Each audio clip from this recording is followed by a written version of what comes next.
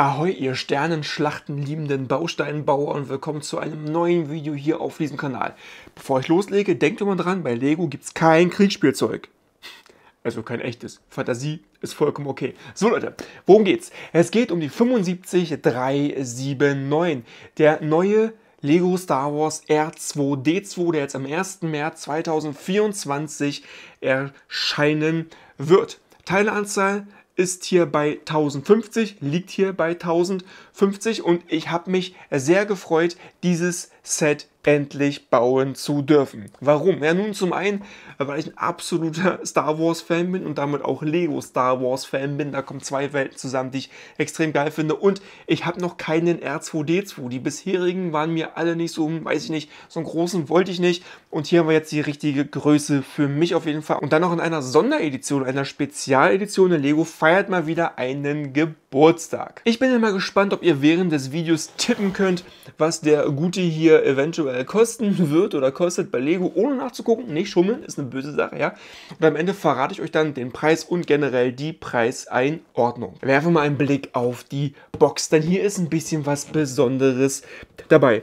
Wir haben hier unten das Logo 25 Jahre Lego Star Wars. Unser R2D2 strahlt hier in die Richtung, projiziert so ein Brick und gleichzeitig könnte man meinen, er projiziert hier die exklusive Figur. Und seht ihr, was das ist? Seht ihr, wer das ist? Schaut mal. Darth Malek. Ja, hm. Der ein oder andere wird sich fragen, hm, wer ist denn das? Wie, was hat denn der mit R2D2 zu tun? Dazu komme ich gleich, da sage ich gleich was dazu. Witzig, witzig, aber irgendwie cool.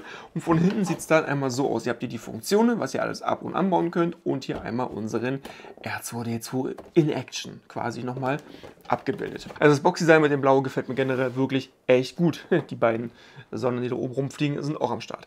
Wir haben natürlich auch eine Anleitung. Und wir haben auch in der Anleitung ein paar Aufkleber dabei gehabt. Diese hier. Okay. Es ist ein Spielset, es ist ab 10 Jahre. Aufkleber sind für mich bei Spielsets okay. Wir haben auch ein paar Druck und ihr seht vielleicht schon hier, hm, ein großer Plakettenaufkleber ist nicht dabei.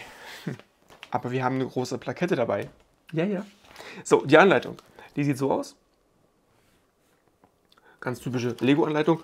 Und wir hatten Bauabschnitte. Ich glaube, es waren zwölf. Bin mir ziemlich sicher. Und dann ist das gute Stück am Ende hier fertig. Übrigens hier vorne feiert äh, Lego nochmal 25 Jahre Lego Star Wars. Da gibt es so eine Homepage, könnt ihr mal gucken, was da drauf zu sehen ist. Und die Lego-Anleitung hier ist Lego-typisch. Ich würde sagen, die Anleitung ist Lego-typisch.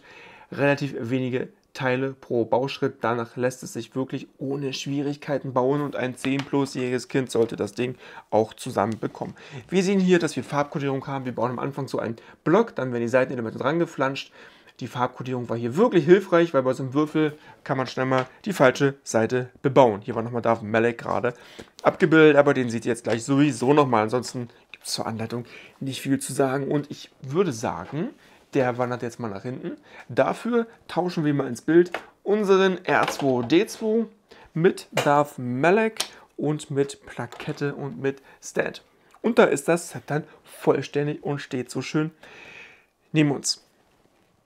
Das Beste vorab, diese Plakette ist ein riesiger, großer Druck. Kein Aufkleber. Sehr cool gemacht. R2D2 ist auch wieder mit dabei. Ja, den hat man wahrscheinlich schon zuhauf. Hier ist er nochmal drin. So sieht es aus. Muss aber dabei sein bei so einem R2, finde ich, passt sehr gut. Man hätte natürlich auch noch einen Luke Skywalker reinpacken können, hätte auch gepasst. Aber R2 ist schon okay, dass er mit drin ist. Und jetzt haben wir hier Darth Malek.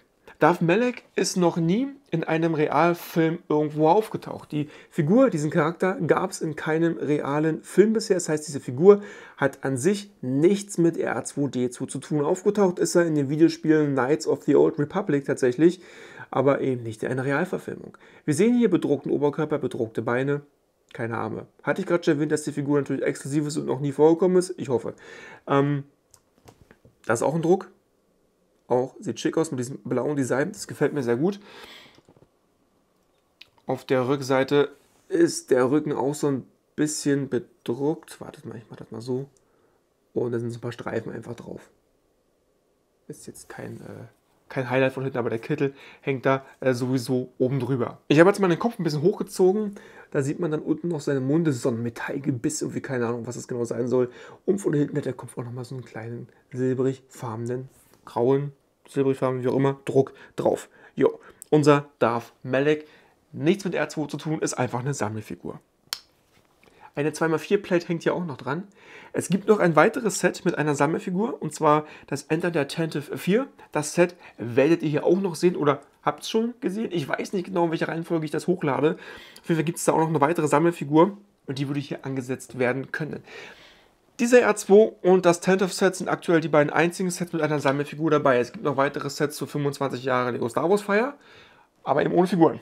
So, bis jetzt, ich glaube, da kommen noch welche. Und nun gucken wir uns mal unseren R2 an. Da ist er der Gute. Frage vorab. Konnte R2 seine Füße hier unten einzeln bewegen? Ich bin mir nicht mehr sicher. Auf jeden Fall kann er das hier.